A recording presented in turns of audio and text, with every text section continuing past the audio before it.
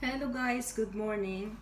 Nandito po ako ngayon sa kitchen. Ituturo ko sa inyo paano gumawa ng homemade carrot cake. Ah, ito po yung 3 eggs. At ito naman yung sugar, 1 cup and a half. Ito naman yung carrots, naka-ready na siya. Grated ko na siya. Ito naman yung 1 cup and a half na flour. Ito naman yung oil, 1 third cups. Ito yung milk, 1 cup din na milk. At saka ito naman yung almond oil. Kasi wala akong vanilla na gagamitin, kaya gamitan ko siya ng almond.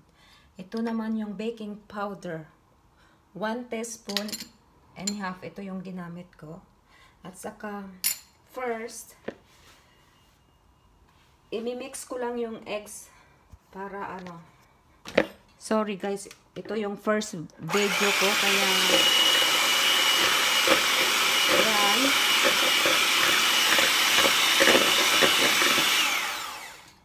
And then, ilagay natin yung sugar para maano siya. Ma-melting.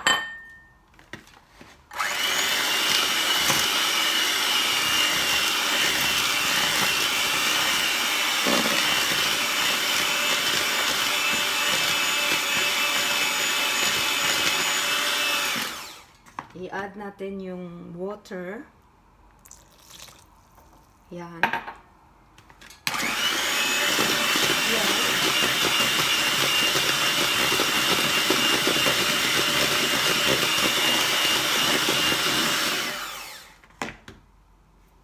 And then, ilagay natin yung ating almond oil.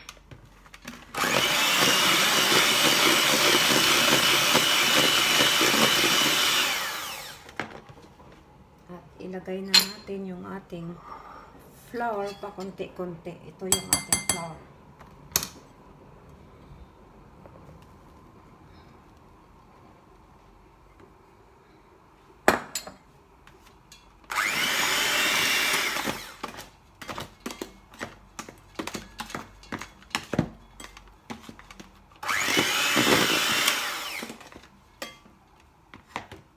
Ilalas natin guys yung oil. Kasi pag ilagay natin agad hindi siya mag-mix. Kaya last part siya. Ito. Yan. i-mix lang natin. One minute. Kasi yung flour natin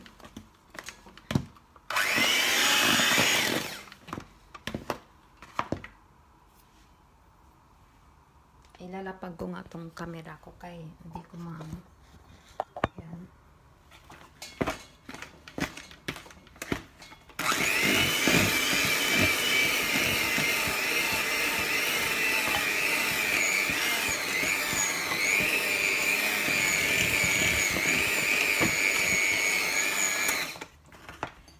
And then, i-add ko na yung carrot na grated ko. Sorry guys, this is my first video. Kaya medyo you know na hindi hindi pa masyado beginner lang po ako kaya ganun. Char.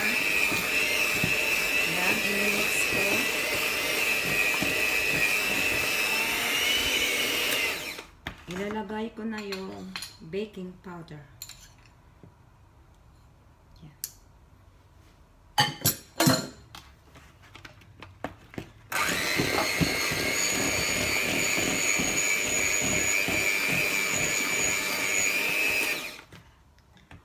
Medyo malapot siya, i-add ko yung milk.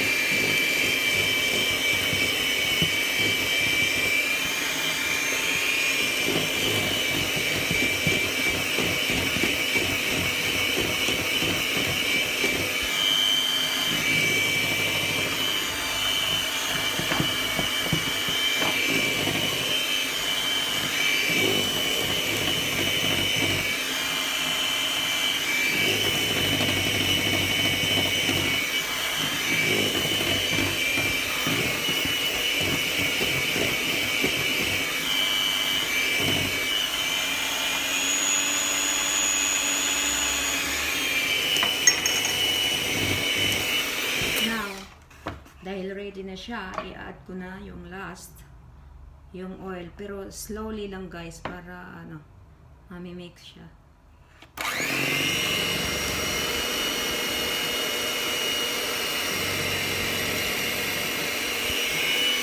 Huwag mo siyang ibuhos lahat.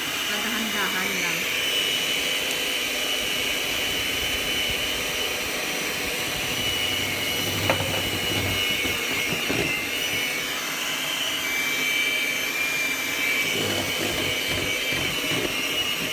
Minix mo siya ng like 10 or 30 seconds.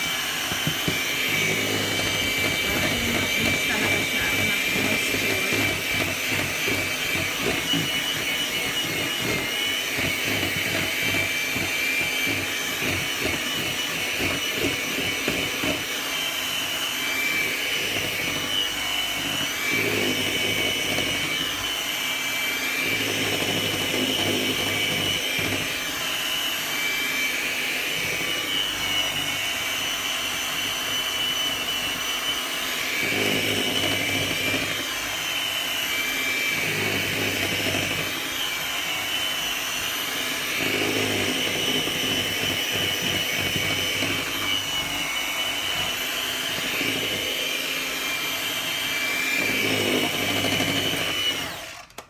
Yan, ready na siya. Ngayon, ilalagay natin siya dito sa sorry guys, yung kamay ko naka dito sa pan. Nilagyan ko na yan siya ng oil. Then, I spread uh, pow flour. Yan. Gamitan natin siya mamaya spatula. Yan.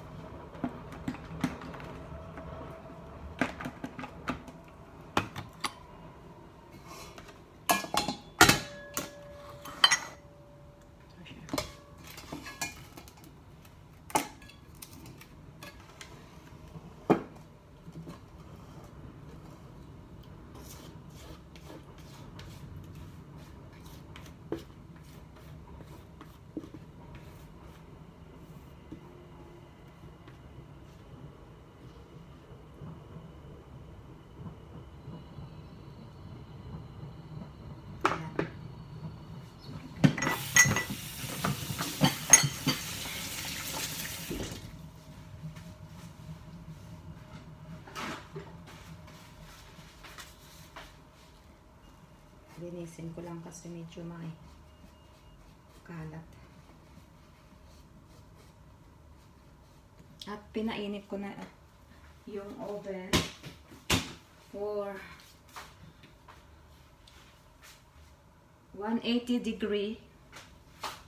At saka 4 45 minutes lang guys. Pag, pero pag hindi pa ready, ano nyo siya, im, ilagay nyo lang ulit. Ito, ito na siya. Ipakita ko na lang sa inyo kapag ready na ang homemade carrot cake. Thank you guys. Thanks for watching. Sana makakuha kayo ng tips paano gumawa ng homemade carrot cake. Bye-bye. See you sa next na video ko. Thanks for watching guys. Bye.